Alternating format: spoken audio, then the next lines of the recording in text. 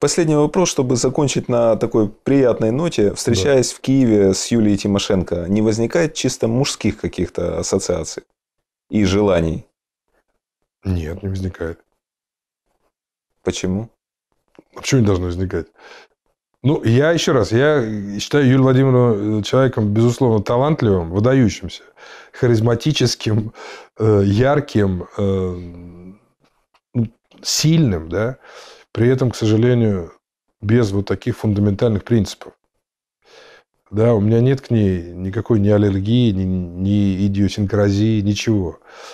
Но я даже не рассматриваю возможности каких-то отношений между мужчиной и женщиной. Я надеюсь, она тоже.